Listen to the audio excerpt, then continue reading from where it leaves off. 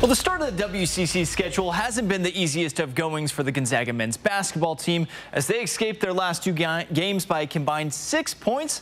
On Thursday night, they traveled down to Provo for one final time in conference play to take on BYU before they depart for the Big 12 Conference.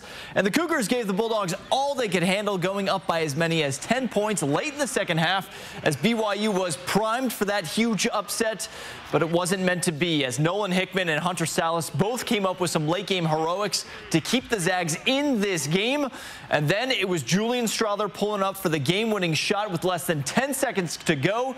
He was only 4 of 12 from the field on the night and only scored 11 points, but that last basket proven to be the game's biggest as Gonzaga survives another massive test to keep their perfect conference record intact. And despite another poor shooting night from the field, they get it done, but they're going to have to raise their game up once again as they're going to go up against an upstart Portland team on Saturday evening inside the kennel.